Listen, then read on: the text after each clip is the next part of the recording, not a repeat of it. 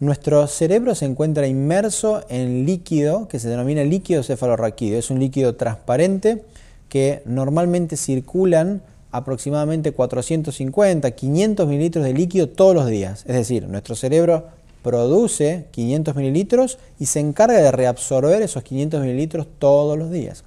En un espacio que se llama espacio subaracnoide. Es como si estuviera nuestro cerebro bañado por ese líquido cefalorraquídeo externo. Y además es un líquido que entra en unas cavidades normales de nuestro cerebro, que tenemos en total cuatro cavidades que se llaman ventrículos.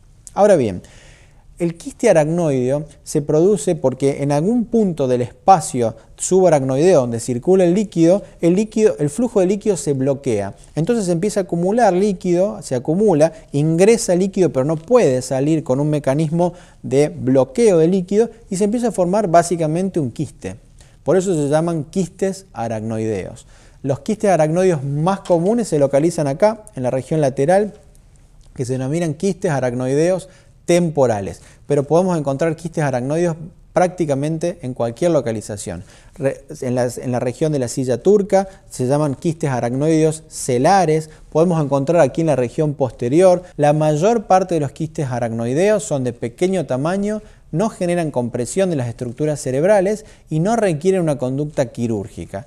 Cuando los quistes aracnoideos requieren una conducta neuroquirúrgica, cuando son de un gran tamaño, cuando desplazan estructuras importantes, cuando generan síntomas como dolores de cabeza o convulsiones. Entonces, en ese punto los quistes aracnoideos requieren de la realización de una neurocirugía. Las técnicas quirúrgicas generalmente son bastante simples porque consiste ingresar al quiste a través generalmente de un microscopio o con un endoscopio también se puede acceder con una cámara muy chiquitita y abrirle las paredes al quiste. Nosotros en neurocirugía decimos fenestrar, pero es hacer pequeños orificios en las paredes del quiste para que el quiste se comunique normalmente con el resto del espacio subaracnoideo. Entonces, si tenés o tuviste un diagnóstico o conoces a alguien que fue diagnosticado por un quiste aracnoideo, es fundamental la consulta con un neurocirujano y el seguimiento de este quiste, porque los quistes, algunos son pequeños, pero pueden tender a crecer con el paso de los años. Y recordar otra vez, si son pequeños, no generan síntomas, no generan desplazamiento de estructuras,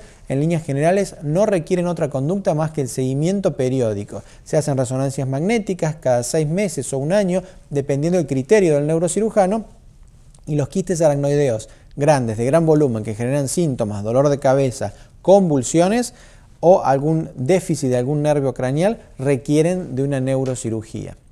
Muchas gracias.